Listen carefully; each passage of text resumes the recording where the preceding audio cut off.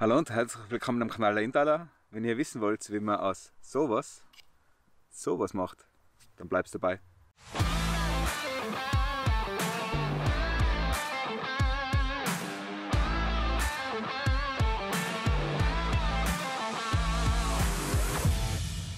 Hallo, grüß euch. Das erste Video 2022. Es hat sehr lang gedauert, tut mir nicht leid. Ist leider so privat sehr viel los. Hab nicht immer Zeit, hätte gern mehr. Ist aber nicht da. Deswegen ist das erste Video ein bisschen verspätet. Ich hoffe, ihr seid gut gerutscht und es geht euch gut und ihr seid gesund. Und heute geht es ums Thema Schnitzen. Ähm, wie bin ich zum Thema Schnitzen gekommen? Der fabelhafte Bernd, Grüße, äh, ist eines Abends zu mir in die Garage gekommen, ähm, noch vor dem äh, Intel Adventskalender und hat mir so am barocken Zirbenholz hergeschmissen. Und sage ich, Bernd, was soll ich mit dem? Und er hat mir angeschaut und gesagt, schnitz einfach am Becher. Gewesen ist es so, das ist ein, zwei Wochen mal umgelegen und irgendwann mal habe ich wirklich zufällig Zeit gehabt, fliegt der Flieger vorbei, ich hoffe, man hört es nicht. Und dann habe ich da angefangen zum Schnitzen, habe das davor noch nie gemacht und irgendwie hat es seinen Reiz. Ähm, Jetzt kann natürlich nicht jeder gleich äh, Becher schnitzen, äh, weil er diverse Utensilien dazu braucht. Braucht man so ein Schäl, äh, Schälmesser und bla bla bla. Habe ich mittlerweile. Vielleicht mache ich da auch mal ein Video, weiß ich nicht ganz genau. Ähm, ich habe mir gedacht, ich zeige euch etwas, was man recht einfach und mit, ähm, eigentlich mit jedem Messer machen kann. Und zwar ein Edelweiß. Das ist ein bisschen filigrane Arbeit. Ähm, wie gesagt, ich bin da weder Profi noch sonst irgendwas, ich kenne mich da nur bedingt aus, aber so ein, ein Blümchen kommt nie schlecht, wenn man einer Dame schenkt. Und es ist relativ schnell uh, und einfach gemacht. Und jetzt sage ich einmal, wie das, was man für Ausrüstung braucht dafür. Was braucht man? Im Grunde genommen, ich habe zwei Messer jetzt mit, gell? Uh, und zwar ein richtiges Schnitzmesser, das ist ja so ein Stubaier Schnitzmesser, mit dem geht es wirklich super gut.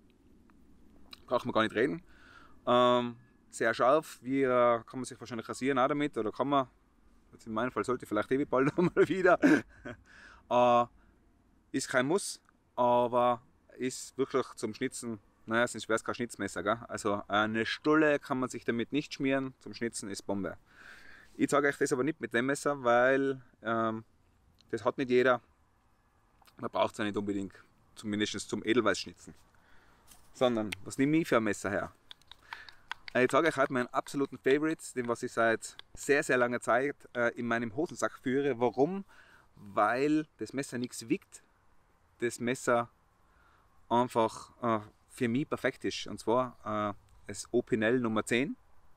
Das ist das mit dem Kohlenstoffstahl. Opinel ist ein französisches, sollte ich was Falsches sagen, bitte korrigiert es mich und schreibt es in die Kommentare.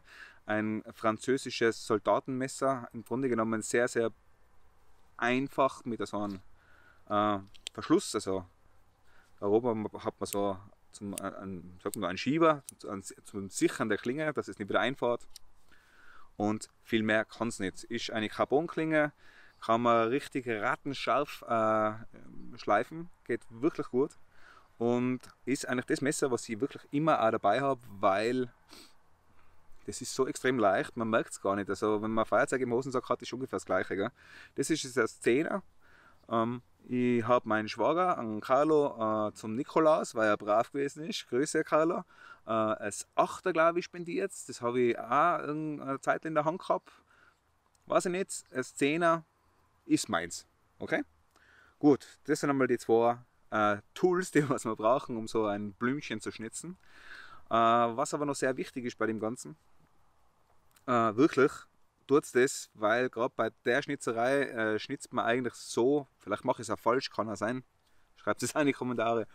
Bei der Schnitzerei macht man äh, das, was man nicht soll, man schnitzt zu sich selber her und zum Daumen. Und jetzt kommt ganz was Wichtiges. Ich habe mir da Schnittschutzhandschuhe gekauft. Ähm, Schnitthandschuhe, Schnittschutzhandschuhe Deswegen, na, für was sind sie? Damit man sich nicht schneidet. Gell? Kann man natürlich mit jeden Lederhandschuh auch machen. Aber mit denen hat man recht ein gutes Gefühl. Ich habe relativ kleine Kluppen. Ich brauche da so M. Ich glaube, das ist ein M, oder? Größe M, Größe 8. Und mit denen sage ich euch jetzt das. Also wenn ihr es noch nie gemacht habt, Handschuhe sind echt nicht schlecht. Gut. Was brauchen wir noch? Wir brauchen ein Stück Holz. Ich sag's euch, wie es ist. Äh, wir haben Winter. Äh, Im Sommer, glaube ich, kann man das von jedem Baum aber brechen. Totholz natürlich bitte. Ähm, äh, aktuell ist der Boden gefroren und da im, im Wald ist alles irgendwie. Äh, das habe ich von zu Hause mitgebracht. Das sind ungefähr 20 cm. Echte 20 cm, ich habe es nicht ausgemessen, keine Ahnung. Äh, Fichtenholz, trocken. Fichte geht für mich am besten. Also gut, was ist der erste Akt? Der erste Akt ist einmal folgendes, dass wir dieses Stück Holz, was wir da irgendwo abgeschlagen haben oder von der Linie geholt haben, äh, dass wir das rund machen. Und zwar, es ist gar nicht wichtig, dass man die, ganz, die ganze Länge rund macht, sondern dass man so das, den, das erste Drittel, das erste Drittel, dass man das schön rund hat, auf einem Durchmesser circa 8 mm, 9 mm.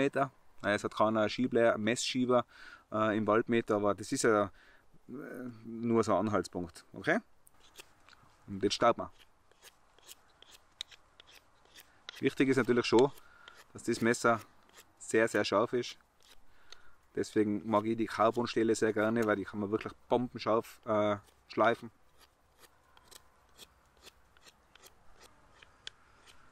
Ich sitze am Waldrand und habe auch schon äh, mal ausnahmsweise nicht auf mein äh, Happy Place und habe auch schon die ersten Zuschauer gehabt. An Zuschauer, Zuschauer zeige ich jetzt. Unglaublich, wie neugierig die Viecher sind.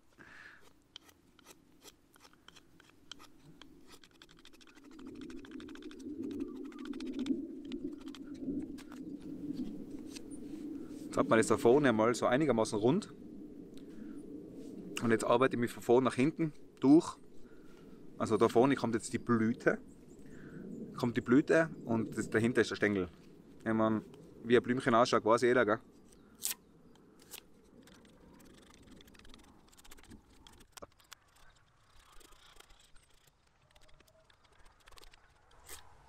Also gut.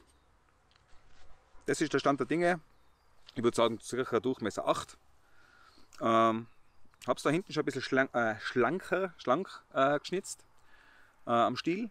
Und jetzt kommt ganz eine wichtige, eine wichtige Geschichte. Und zwar, wir schneiden jetzt eben deswegen die Handschuhe, es ist, macht wirklich Sinn, wir schneiden jetzt von vorne nach hinten die Blüten und zwar sechs Stück auf die 360 Grad. Und ähm, wie gesagt, das ist jetzt nicht das erste Blümchen, was ich mache. Ähm, die ersten Blumen haben keine sechs Blüten gehabt. Macht auch nichts raus. Das ist auch ein bisschen ein Lernprozess. Es kann auch jetzt sofort in dem Moment passieren, dass äh, ich das da, dass das in die Hosen geht. Äh, das ist halt einfach so, gell? nachher hat es halt einfach fünf Blüten. Da macht es auch bitte nichts draus. Und er fängt an einfach oben schneiden, zieht dann die Blüt das Blütenblatt nach hinten und dann hebt es mit dem Daumen nach unten und drückt es so raus.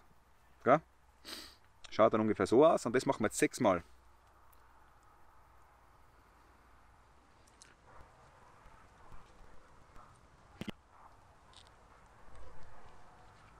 Schaut, dass sie alle einigermaßen gleich lang sein. Gelingt mir auch nicht immer. Wobei die Natur hat das auch nicht alles gleich lang. Aber zumindest nicht, dass ein ganz langsamer kurzes dabei ist.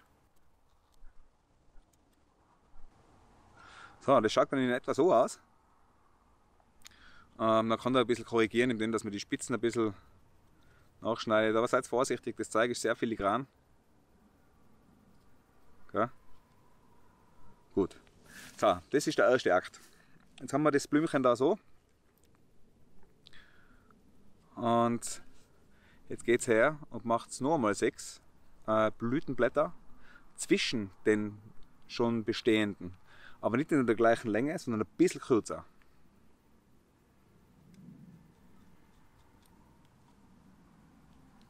Und passt auf, dass ihr euch nicht die anderen Blütenblattel dabei anschneidet.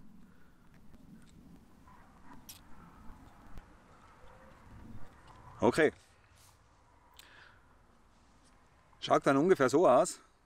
Und damit das Ganze jetzt ein Edelweiß wird, das Edelweiß hat ja in der Mitte drinnen, wie sagt da, den, da wo die Bollen wohnen, der weiß ich nicht, schreibt es mir bitte in die Kommentare, die was es wissen. Äh, so ein relativ großes Nest mit, ich glaube, vier oder fünf Kugeln sind es. Das schaut zumindest so aus. Das kann man natürlich schlecht stützen. Das äh, macht man jetzt so, dass man da hergeht mit, dem, mit der Spitze vom Messer und da kurz davor noch lauter kleine, aber sehr tiefe Einkerbungen macht. Je öfter, umso besser.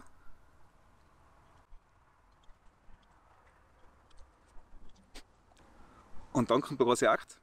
Und zwar, wir gehen her und brechen das Vorderteil ab. Es geht dann ganz leicht runter. Kann man sogar wegschmeißen, ja, ist ja kein Müll. Und dann hat man da vorne, man kann das noch ein bisschen richten. Diesen Fruchtbereich, sage ich jetzt einmal. Das nächste Schritt ist, dass wir das Ganze nach hinten ausdünnen. Ja? Also wir schneiden eben zu uns oder man nimmt es, dreht es um und schneiden da vorsichtig den Stängel, machen den dünn.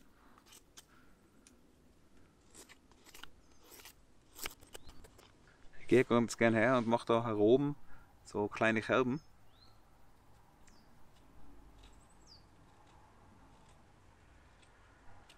Damit ihr mal so ungefähr weiß, wie dünn das Ganze werden soll. Und dann schnitze ich nach unten.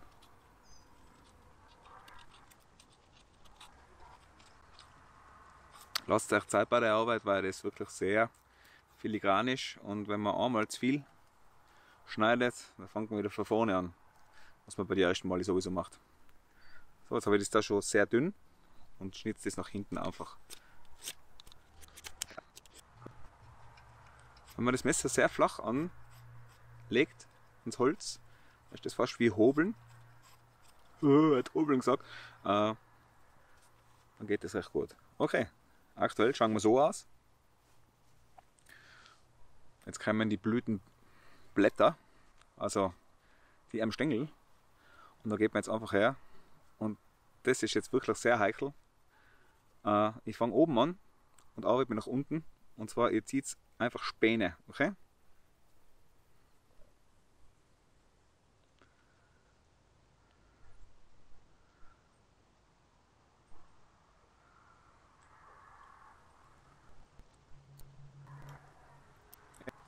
Kann man glaube ich so lassen. Oben vielleicht noch ein bisschen.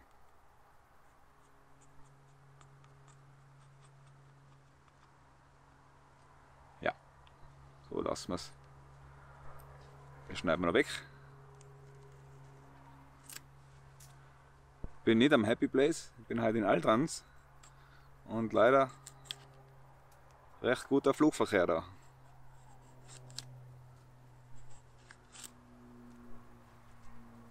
Okay, dann schnitzen wir das nach unten noch frei.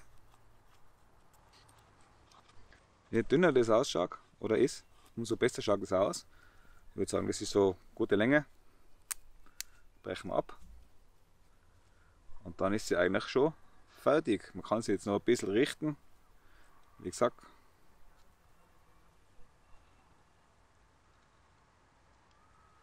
jetzt vorsichtig. Die ersten paar habe ich mal abgeschnitten. Kleiner Tipp. Superkleber hilft da. Aber es soll halt so nicht sein. Okay. Dann ist eigentlich unser Edelweiß schon fertig. Und mehr ist es nicht da. Ist gar nicht viel Arbeit.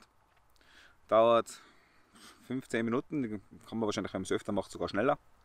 Ähm, ist ein irrsinnig nettes Geschenk. Gebe euch einen heißen Tipp. Die meisten Damen, denen was man das spendiert, die riechen dran. Äh, Fichtenholz hat jetzt nicht so den ultimativen äh, Eigengeruch, wenn es das jetzt daheim macht. Äh, ich habe auch schon Zirbenöl einfach vorne drauf dann. Oder, mm, super. Ähm, ist ein super gutes Mitbringsel, macht, äh, macht Spaß, ja. Ich mag, ich mag, das ganz gern, da kann man sich ein bisschen so in die Gedanken verlieren. Ähm, und fördert die Feinmotorik. okay. Ähm, das war das erste Interla-Video 2022. Ich hoffe, es hat euch gefallen. Äh, bleibt brav, bleibt gesund. Abonniert den Kanal, wenn es euch gefallen hat, oder lasst ein Like da. Ähm, für euch. Danke fürs Zuschauen.